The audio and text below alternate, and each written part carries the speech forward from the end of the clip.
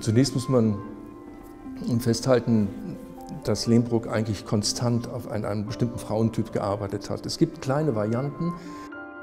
Er beginnt, ähm, trifft Anita, seine Frau, Anita Kaufmann, die heiratet er 1908 und sie wird dann eigentlich sein Modell. Und aus ihr entwickelt er eine übergelenkte Figur, eine sehr expressive, überexpressive Figur und versucht daraus eine gewisse Abstraktion zu erreichen. Er beginnt dann aus diesen Skulpturen ähm, andere zu entwickeln. Er fragmentiert die Skulpturen. Also er hat eine gewisse Idee, auch eine Mehransichtigkeit zu haben, die eben nicht in einer gleichen Form ist, sondern die gerade bei der großen Knienden eben sich sozusagen, wo er sich eben drehen kann, wo verschiedene Schauseiten sind. Nimmt sie auseinander, wenn Sie so wollen, und schneidet zum Beispiel an der Schulter, deswegen die Büste, er schneidet, macht den Torso daraus. Und so entwickelt er aus einer Figur, die er mal fertig hat, ganz verschiedene Teilfiguren.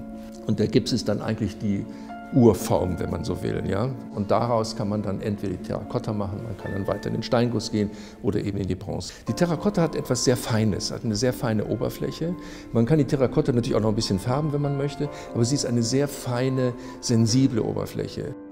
Vorbild, keine Frage, ist Anita, seine Frau, die er sehr liebt. Das ist so eine ganz verhaltene, sehr sanfte Form, die er in diesem Kopf hat diese Haartracht, ja, die wird man von Anfang an finden. Das ist das, was seine Frau eben tragen sollte, hinten mit so einer kleinen Spange und so einem kleinen, wie soll ich sagen, es läuft so langsam aus, ein bisschen wellig.